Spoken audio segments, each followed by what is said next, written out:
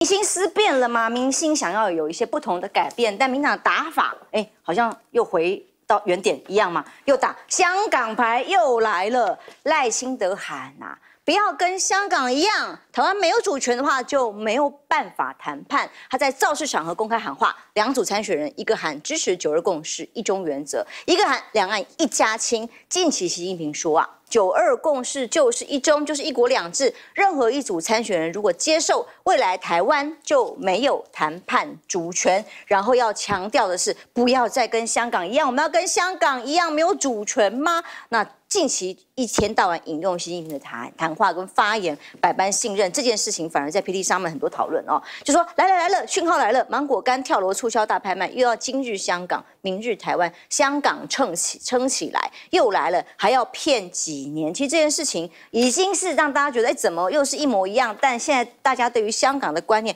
有没有改变呢？或民党政府对于香港想要移民来台湾的有没有够友善？其实更多的讨论在其中。而柯文哲也轰说是台独骗子，他举了一个例子，叫做周庭的例子哦。他说，如果中国把赖清德的当选视为台独势力在台的胜利。那习近平那个位置坐得稳吗？很难坐啦。为什么要搞成这样？赖清德强调，像香港学院女神周婷说：“一生不回香港，台湾不能跟香港走一条同一条路，有家归不得。”哎，难道我们要像乌克兰还是像呃巴勒斯坦一样吗？不只有家归不得，还有更多伤亡。我们到底要向谁？赖清德能不能讲得清楚？我们。哪一条路才是和平的路？而民进党说是假抗中争内斗吗？这个质疑点哦，是尤英龙台湾民基金会董事长提出来的，号称是最了解民进党的人之一。他怀疑哦，这个葛莱仪居然会跟几个学者一起发文去选择说，哎，希望这个赖清德如果当选要冻结台独党纲这个做法，他认为呢是选择在台湾大选关键时刻忽然来这么一下。哎，是不是跟民进党内部政治斗斗争有关系？他认为令人好奇。哎，什么意思？就是说葛莱伊跟蔡英文关系那么好，这个时候当然发文章，哎，是刻意要来操弄赖清德的选情吗？有这样的质疑哦，所以现在蓝营两岸国防的回击方式，包括今天最新讨论到赵康提出来，哎，在大陆要不要设军事观察员，可不可行？同时他也准备说有三防线抗共军，他强调两岸和平是唯一的答案，跟何友谊都不会向中国要求，呃，都不都会向中国要求共机不要再越过海峡中线，战舰也不要再绕台，这种是协调要求可能性吗？那么甚至减少中国沿海对台的军飞弹的设置的军事设备的数量。那么他说，台湾有什么？有爱国者飞弹、雄三飞弹、天宫飞弹。如果打台湾的话，我方就要远远的打击，所以志愿役月薪三点七万是不够的，同时要增加三条防线，大量造飞机、造飞弹源头来进行打击。而南华早报的报道说。驻韩的美军很罕见的到新加坡去做联合军演，加强协同作战，冲的是谁？中国武力犯台的可能性。这个是根据南华早报的报道，驻韩美军回违五年，第一次又出动了哦，战机啊、维修员呐到新加坡，这个所谓的投石所二十三的联合军演，反映的是。拜登政府极力加强在印太地区的协同作战能力，要遏制中国在台湾海峡和南海可能引发的冲突。的确哦，南海最近的确不太平静，连续两天又爆发了冲突。菲律宾指控被八次射击高压水炮，中国海警也批评菲律宾舰舰艇是冲撞刮蹭啊。菲律宾指控在南海的民主礁，中国海警船。八四以上高压艇啊、高压水炮啊、鹰炮坡啊，去阻拦菲律宾的渔船。中国海警回应说是这个一号艇这艘船呐，尤纳扎号啊，故意冲撞中国海警船，才会产产生这样的状况。那美国制裁南海建岛中企也是一个做法哦，就是说美国的商务部二十四间中国企业再度的列入制裁的名单里头。理由呢，就要帮助中国军方在南海修建的人工岛，所以要制裁。美方目的很清楚，商务部表示要搅动地区紧张的旗旗子吗？或迫使南海周边国家成为驻美抗中的棋子吗？那么，甚至美日韩的国安官员会谈里头也告诉大家，会为台海稳定挺身而出，说支持东海、南海航行自由。这是美国顾问苏利文在华盛顿跟其亚洲盟友挺身而出的言论，跟首尔日韩官员三方会谈之后所做成的结论啊。那哥，当我们在看赖清德提又提了香港的议题的时候，可是整个国际局势都已经在变化，美方的心意跟态度也老早就不一样了。我赖清德又说，近期习近平又说九二共识就是一国两制，请问你在哪里听到？宋涛才刚在今年一月讲，说在九二共识的基础上，那当然中国大陆是主张一国两制了，可他并没有说九二共识就是一国两制啊。马英九支持九二这九二共识啊，可是马英九有支持一国两制吗？他到现在还在给你。含糊抹黑耶，马英九那八年到底是怎么处理两岸关系？他到现在还用这种方式扭曲啊，还想跟习近平吃饭喝茶，这太可怕了吧？你一天到晚在扭曲别人呢。马英九没有接受一国两制啊，可是马英九是支持九二共识啊，没有错啊。一国两制是中国的主张嘛，我们台湾并没有支持啊。是要谈嘛，对不对？所以，而且马英九连政治谈判根本就还没开始，就只有九二共识，然后签了二十三个协议，这个就是现状嘛。啊啊，你如果认为九二共识就是一国两制，那你就把二十三项协议废除嘛，不是这样一了百了。啊，又不敢废二十三项协议，不敢废 A 克法啊，那整天那边扭曲别人，说九二共识就是一国两制。这种人真是可悲啊！他只有靠扭曲、抹黑，然后继续生产芒果干，他才知道怎么选呢。他完全没有招啊！你为什么不提证件啊？你可以提一下嘛，比如说侯友谊认为年轻人买房很难，提出五五五这个主张啊，那你可以批判，那提出你的证件嘛？请问你如何帮助这个四十岁以下的年轻人买房子嘛？你告诉我们嘛？这种证件通通都没有，一天到晚在抹黑，我真的没有看过这样的执政党候选人啊！就自己的证件都不敢讲，然后每个群众演讲场，执政党的候选人就整天在抹黑别人，是统派啦、投降派啦、同路人呐，啊，支持一国两制啦，炒芒果干，不知道你在想你在选什么？选你这种人当执政党真是丢脸到家。你去看拜登现在在选什么？拜登都在讲我做的最好啊，在讲人家的政绩啊。你为什么不敢讲这个呢？那 对手提出有创意的政见，你就要回应啊，提出对岸啊，通通都没有啊！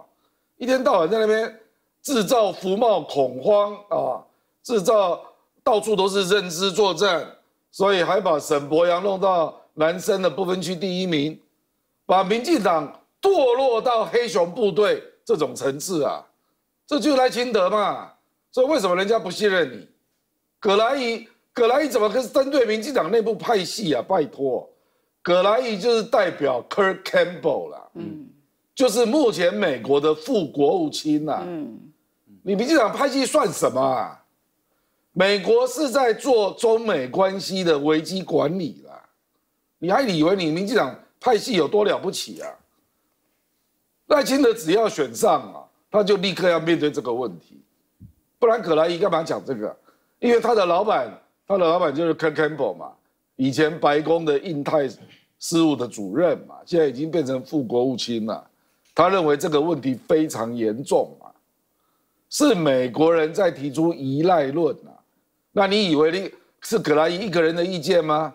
葛莱伊跟他写作的另外那两位，那个白杰西，他是国务院的政策规划的幕僚，哎，柯庆生以前当过亚太跟东亚的副驻青，哎，都是代表美国政府啊，而且都是了解民进党跟民主党走得很近的高参呐。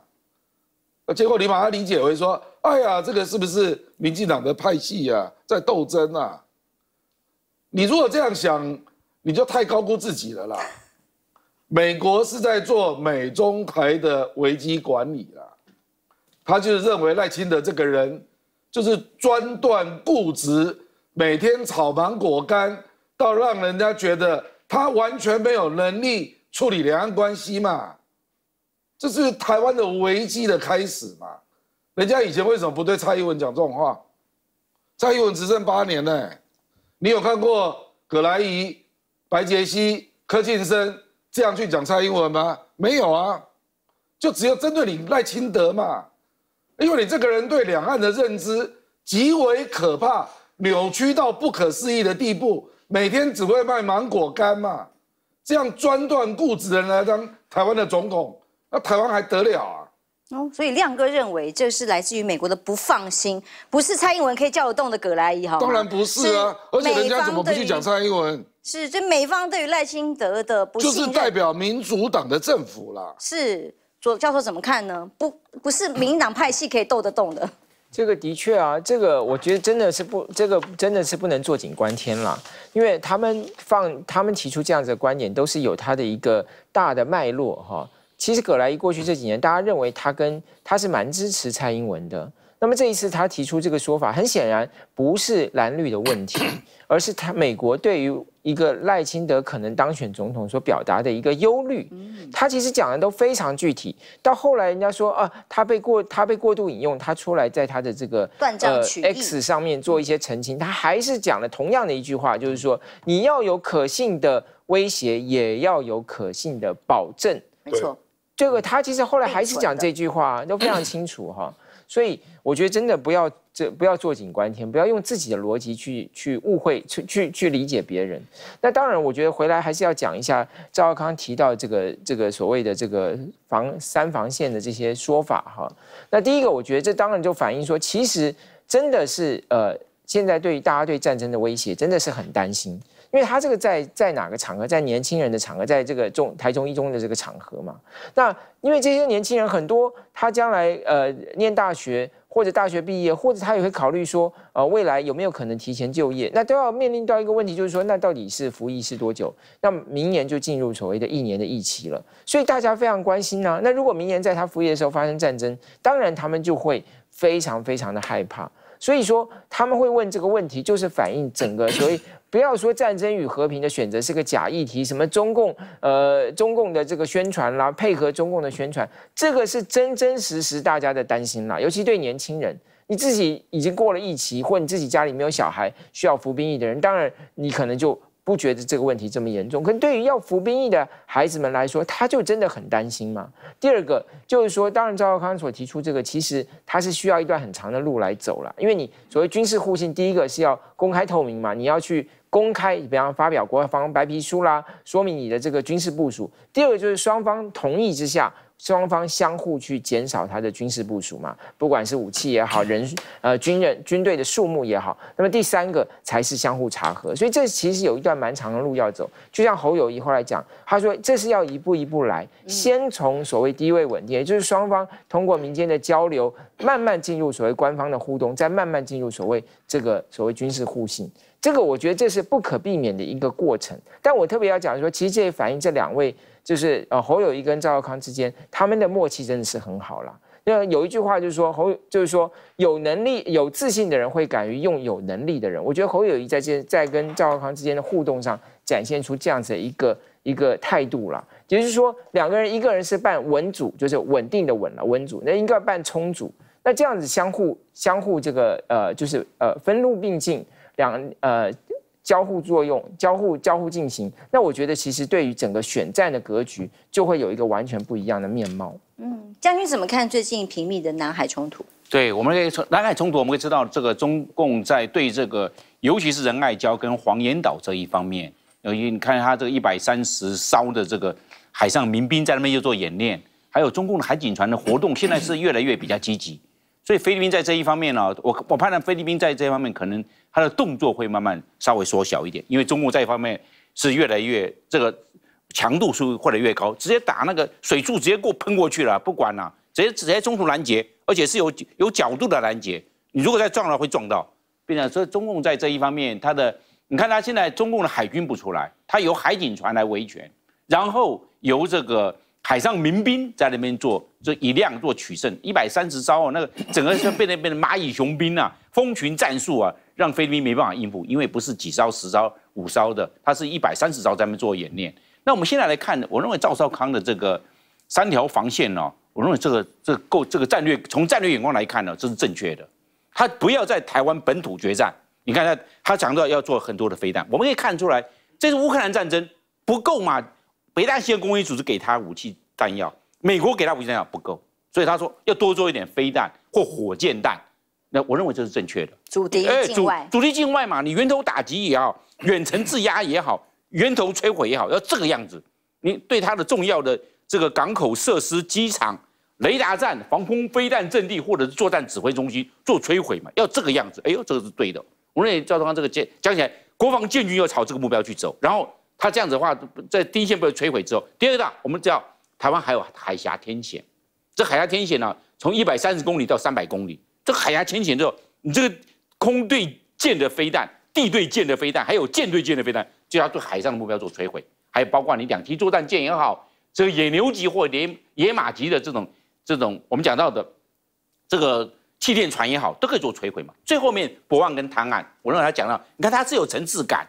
博望到滩岸的话，这边这个地面的更多的这重重武器，或者是坦克、甲车、重炮、火炮，加做做做打击嘛。不要在台湾，这是对的。在台湾，我们看乌克兰战争，我们看巴士。我们讲，我们讲的加沙走廊里，我们看整个的打巷战这种那是不对，飞弹这种做法，反而是最危害台湾人民的安全。对，不对的。你看他这样子，这样子，你现在三道黄线出来之后，中共这样子一看的话，他能够登陆台湾非常有限，他可能就会想，我中对中共如果对台用兵得不偿失，代价太高，它就会戛然而止。